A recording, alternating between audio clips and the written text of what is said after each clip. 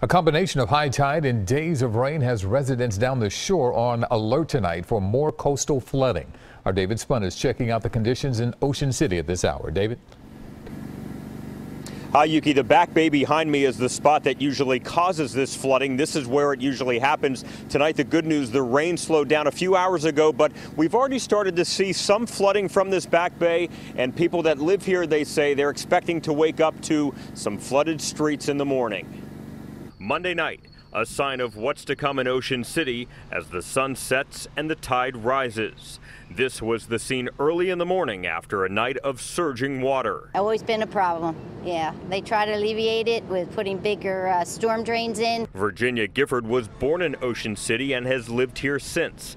As she took a walk along the beach with her husband, she couldn't help thinking about the weather. If you have a new moon, high tides at the same time, you're likely to get flooded on, especially on the back bays. The white caps of the waves on the ocean side intensified by the hour. Not a soul was swimming. It's too cold.